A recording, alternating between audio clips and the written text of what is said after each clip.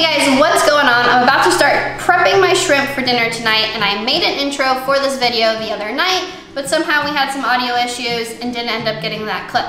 So Victor and I went to Hillsboro and Inlet the other night to check if the shrimp were running because we had heard the night before that some people had caught some. So we went to the inlet and there were shrimp everywhere. So I texted my family, the shrimp are running, get ready. So we got to the house and the only person who ended up being ready was my mom. My dad wanted to come, but he was a little bit sick. So it ended up just being Victor, me, and my mom. We caught a ton of shrimp. We had a ton of fun. So I hope you guys enjoy the video. We haven't used these nets in probably like three years. We haven't had a good shrimp run in like three years. There we go. Wow, don't they look beautiful? Oh yeah, look at them. They're so bright red pink. Check it out guys, these are good sized shrimp too. That is a good sized shrimp. We haven't done this in probably like three years. Honestly, I did a shrimping video when I like first started doing YouTube, which was probably like three years ago. And we haven't had a shrimp run that was good, at least that we knew about in probably three years. But pretty awesome. Now you're allowed to keep a five gallon bucket full of shrimp per boat. So when you're on land, it's five gallons per person. But when you're on a boat, you're only allowed to keep five gallons. So we have a long ways to go because I barely covered the bottom of it. Okay, Mom, I'll give you this net and you give me your net, okay?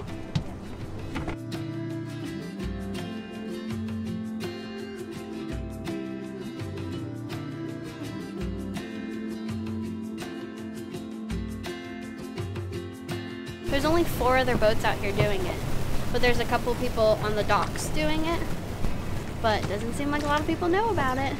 So, shh, keep it a secret.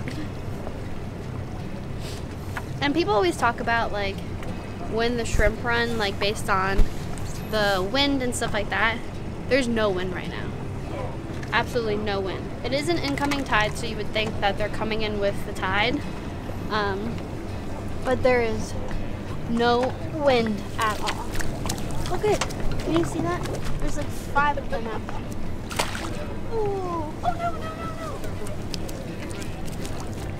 You really gotta shake them down in there or else they get out. Oh, I don't know what that was.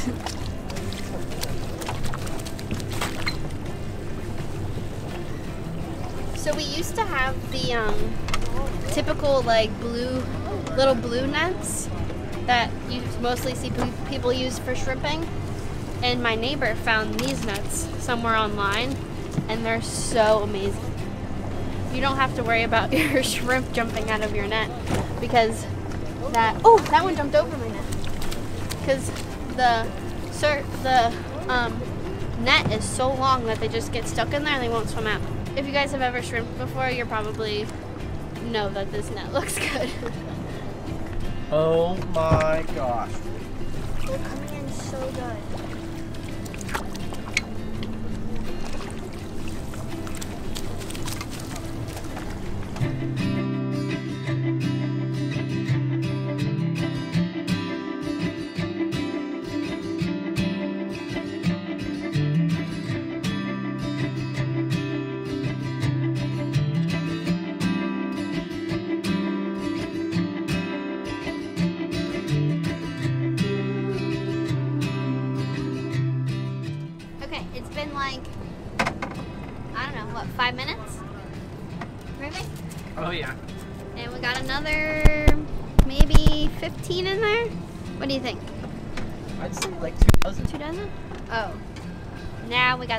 You ready? Watch. Haha, that's how you do it. It's a shrimp funnel. There we go. Looking good.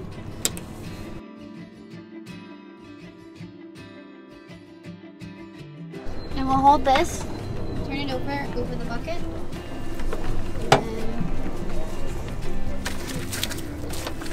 Oh, oh, no! that wasn't good. Yeah. Wow, Lo, look at this one, Mom. Is this the one you said was the biggest one of the night? I think so. Wow, look at that. It's the size of my hand. I could tell one was really Look at him compared to this one. That's a good one. You'll have to eat that one. That's like a little lobster.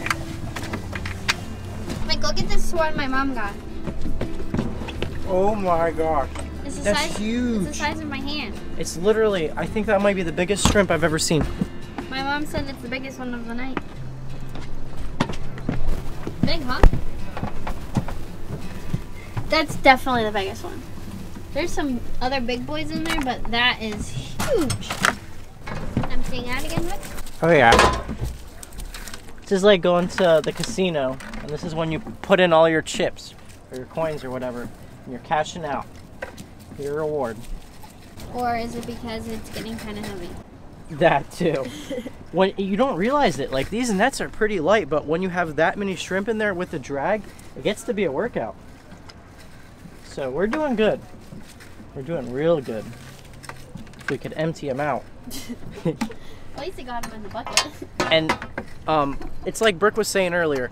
Everybody thinks they know when the shrimp are gonna run, but nobody actually knows. Guys will tell you full moon, new moon, in between moon, southeast wind, northwest wind. These shrimp they use the inlets um, to come on the incoming tide is generally when we get them, but we do get them on the outgoing tide too, and they're always coming from the south. I'm pretty sure these are shrimp coming from the Keys, Biscayne Bay, Miami, because that's where all those grass flats are, and I'm pretty sure that's where they grow up. And then for some reason, every winter, spring, they seem to migrate north. And then as they're going along the ocean, like we see all these shrimp right now in the, in the inlet, there's millions and millions of shrimp along the piers, the beaches, everywhere, all the way out to 2,000 feet of water. Swordfish are eating them. Literally, tr- probably trillions of shrimp flowing right now. So we got to get back out there. We we got quite a ways to go. Yeah, we did. Now there's like eight boats out here, where when we first started there was like four. And the boat next to us is using little like bait nets to try to catch them.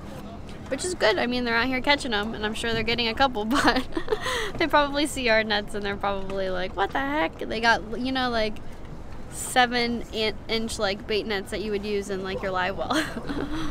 That's that's the thing with shrimping is if you tell one person, you tell the wrong person, this inlet will go from one boat to 50 boats within like four hours because this is the type of thing where if people get the word, they know it doesn't happen all the time. So they'll pack up at nine o'clock at night and they'll get out there. It's also like 60 degrees right now, so it's a little bit chilly for us. How you doing, Mom? Okay. Okay. They slowed down a little bit. they did slow down. They come in like little bunches. It seems like you'll have like six come into light real fast at one time, and then you won't get any for like a minute or so, and then you'll get a bunch more. But I think they've already slowed down since we've been here. This is a good light. Yeah. I like to, when I get them in the net, instead of just leaving it down there, I like to make sure my shrimp goes all the way down because if they're halfway in the net, they can swim out real easy.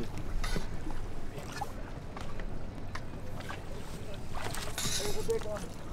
There's one over here. Come get him. I got the big one. See? They geez, that big one almost jumped out. Ah, missed it. Come on, get him. He's right there. I got this one. still.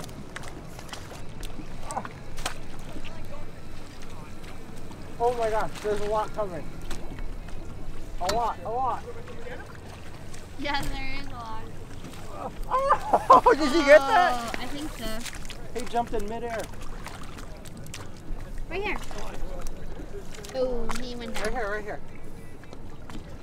Like, I think you're right. We haven't caught shrimp in a while, but they seem so much Pinker and pinker. redder. redder, oranger. I don't know how to it's just No, called. it's hundred percent. We usually get them and they're really white Look, or there's gray. one white one in there. So that's what they normally look like. Is that guy right there? But they are super bright for some reason.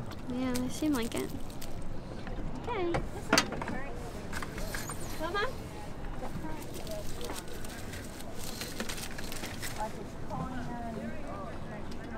It definitely seems like they've slowed down, but we're getting close to the end of the incoming tide, so they may have started at the very beginning of the tide, so that could have been going on for a long time.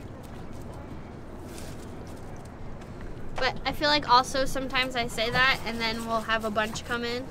But they come in like little Spurts. spurts, yeah. Piece of plastic.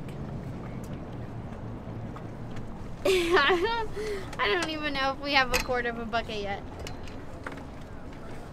But we're having fun. And that's still a lot of shrimp. You know? You want to empty yours, Mom? I'll help you.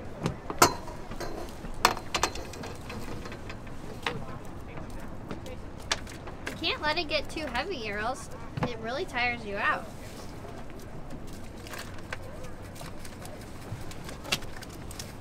Look at 'em. Thank you. Let's get some more. 70, 71.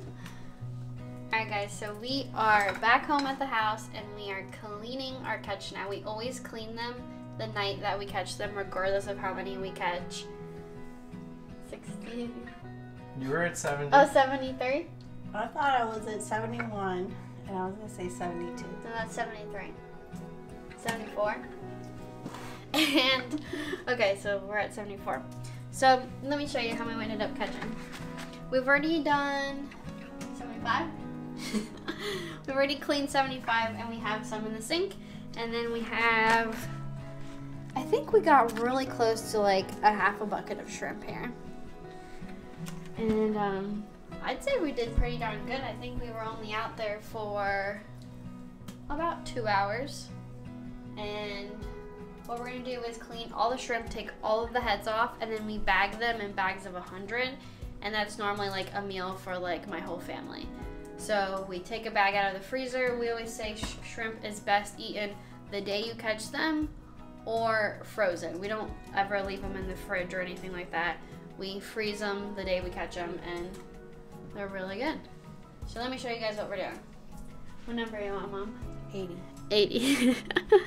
okay, don't forget, guys. Okay, so here's our shrimp. I like to take my thumb and my index finger on one part of the head and then my other hand here.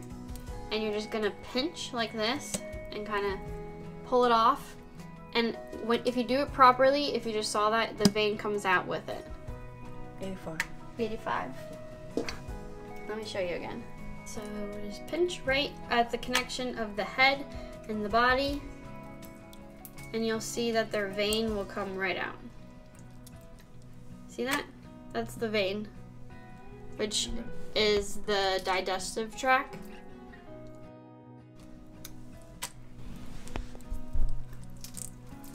Just pinch, and that comes right out.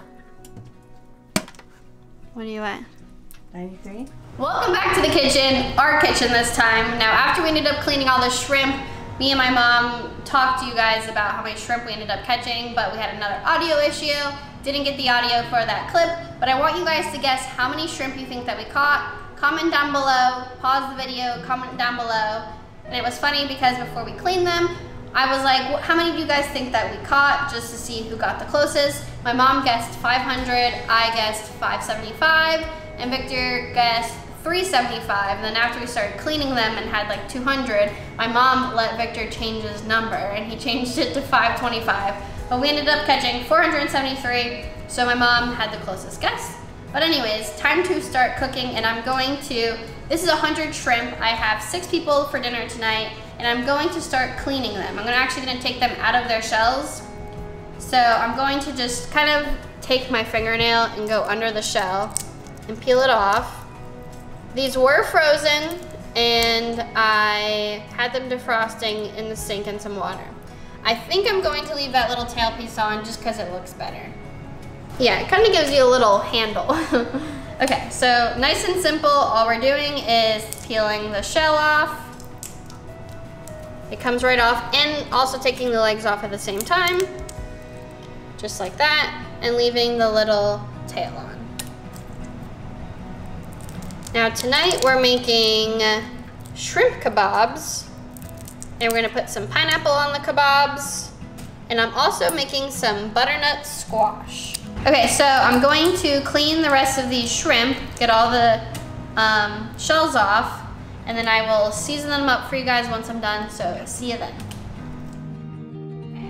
First thing is we have butternut squash we need to get into the oven, which is set for 400 degrees now. No, I did not chop these, Victor did. if you've never cut open a butternut squash, it's actually very, very hard. So make sure you have a good sharp knife and some muscles. okay, so I have three butternut squashes cut in half. We're gonna have six people here for dinner tonight, so everyone's gonna get their own little nice half. So what I'm going to do is take this extremely obnoxiously large knife and I'm going to make some cuts in this. It's going to help the butter sink in and those flavors to get down deep. Um, Do you want a smaller knife? It looks like you could benefit from it. it's okay. At the beginning, um, these cuts aren't gonna really do much or look like much, but once they start cooking, you'll see that these cuts actually help a lot. It's not even like they're that deep, but you'll see when they're done, you'll see these cuts. I'm also going to go back the opposite direction.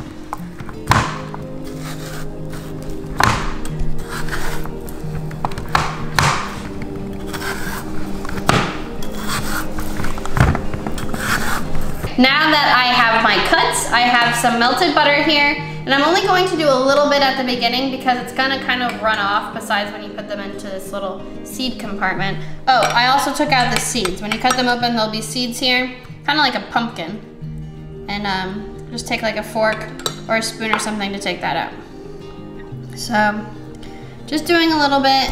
Once it cooks a little bit more, I'm gonna put butter on again. So just doing a little bit for now, and then I'll show you guys, we'll put on more later. Now we're going to do salt. We are going to add butter, but we're not gonna add more seasoning. So this is the end of the seasoning. Salt, pepper,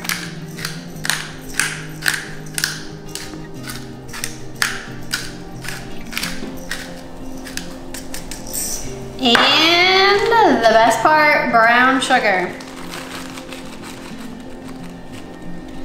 These are going to be so, so, so good. You can also do this with acorn squash, but I looked at the acorn squashes and they are kind of small, so decided on butternut squash. Both are very, very good though.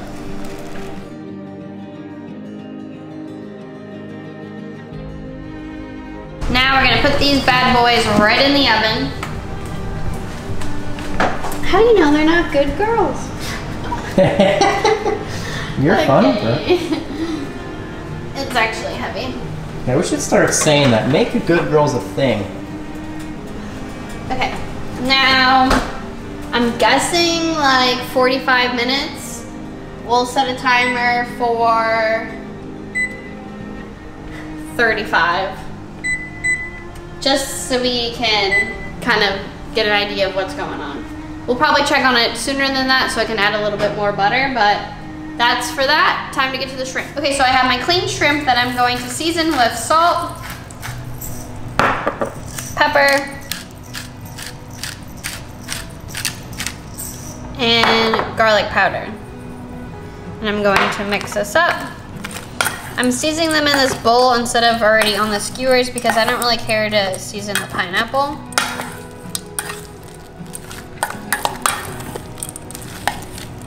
Now, normally I would buy pineapple and core it myself and cut it, but this pineapple was on sale, so that's what we're doing. So let's do a piece of pineapple. Whoa, don't stab yourself. then we're going to do shrimp.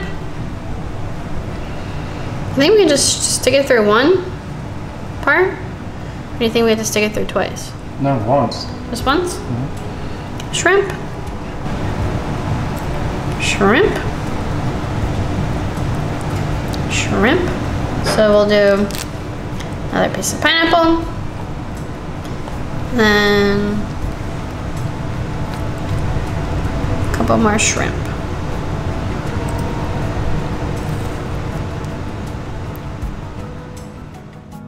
Just like that. And now we do it about 15 more times. So we have all of our shrimp on skewers and we have some teriyaki sauce that I bought I was going to make it homemade, but you know, Victor and I were doing yard work all day and I didn't feel like making it on my own, so bought a nice bottle of teriyaki sauce. We're gonna put these all on the grill and then we're gonna baste them with some teriyaki sauce.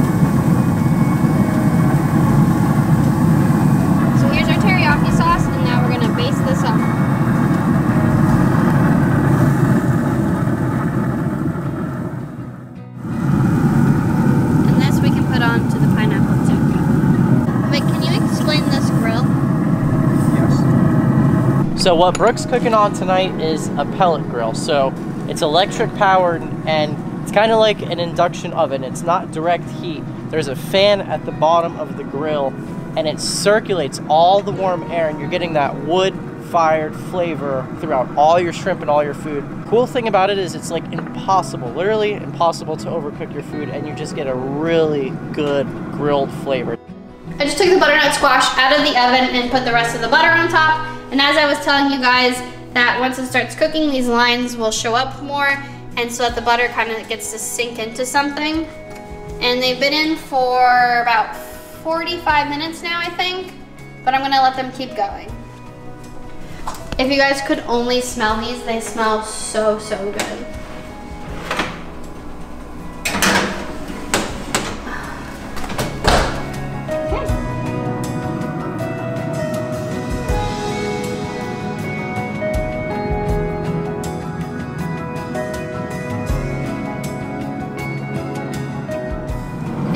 Skewers are really hot. I don't really know the best tool to flip them, so I have these oven mitts that I'm going to attempt to grab and flip so we can put seasoning on the, I mean, so we can put the teriyaki sauce on the other side.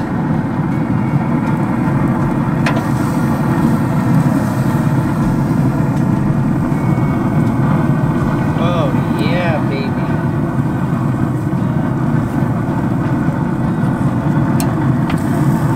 How you doing, boys? Looks good. Looks real good. Look at them fresh caught shrimp. We don't get them that often at Hillsboro, but they got them a couple nights ago.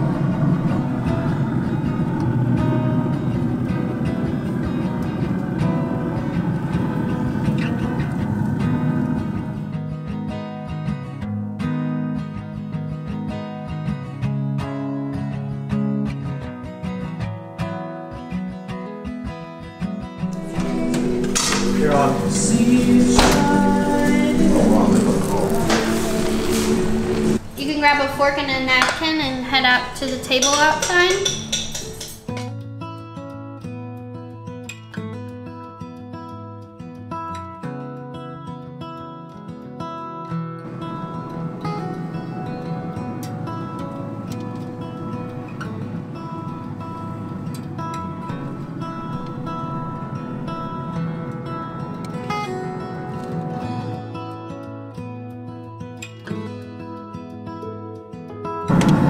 Probably should have been using tongs the whole time. Wow, amazing.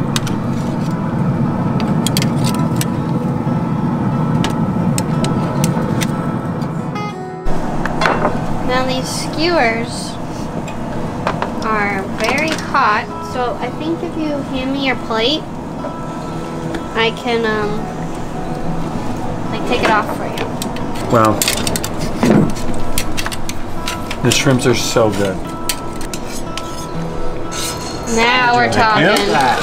Now we're talking. Here I am. I'm right here.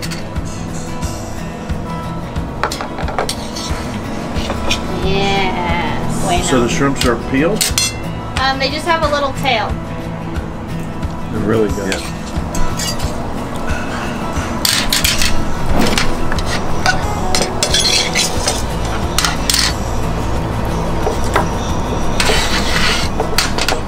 These Hillsboro Inlet shrimps.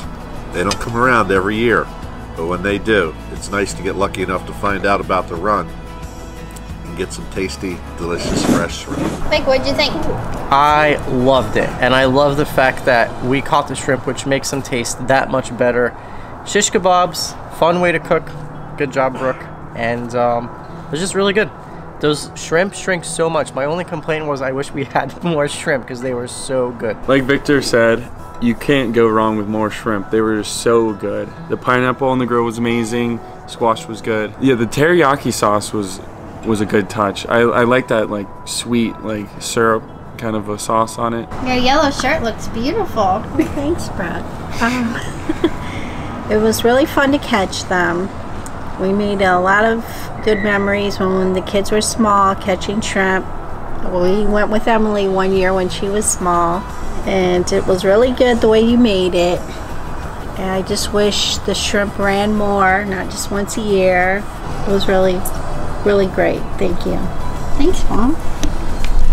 Now tonight we have a special guest Emily. She's been my best friend since we were what, like nine, Mm, younger than that. seven, Like five. five, Like first grade. five or Okay. six. five or six. Holy cow. What'd you think, Em? I thought it was awesome. Honestly, I've never had a bad meal with this family. Like on my right hand, I've never had a bad meal. It brought back a lot of good memories. Like they said, we've gone shrimping together in the past, and it's just always a good time. And yeah, like everyone else said, I wish we had more. Thanks, Em. You're welcome. I guess it was since we were like five. It was a long time.